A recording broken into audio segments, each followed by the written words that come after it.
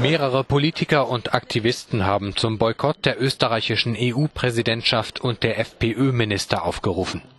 Unterzeichnet wurde der in der französischen Tageszeitung Le Monde veröffentlichte Appell unter anderem vom Ehepaar Klarsfeld und vom ehemaligen französischen Außenminister Bernard Kouchner. Die Verfasser schrieben unter anderem, Erben des Nationalsozialismus seien nun in Wien an der Macht. Österreich hat von Juli bis Dezember 2018 den EU-Vorsitz inne. ÖVP und FPÖ hatten ein Regierungsbündnis geschmiedet, das von Bundeskanzler Sebastian Kurz und Vizekanzler Heinz-Christian Strache angeführt wird. Die Angelobung der Regierung war von Protesten begleitet worden.